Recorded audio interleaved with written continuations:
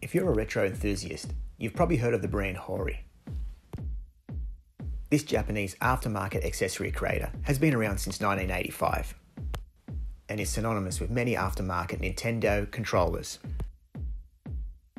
We were lucky enough to get our hands on this old new stock Mario steering wheel for the 3DS console.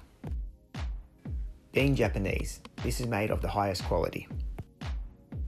The plastic is soft touch, has no mould lines, and clips into the original 3DS console perfectly.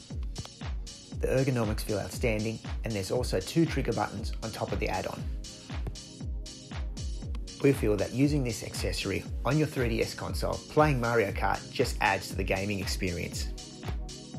Being such an iconic game, Hori also created the steering wheel for the Wii. Don't forget to check out our other videos and like and subscribe to our YouTube channel.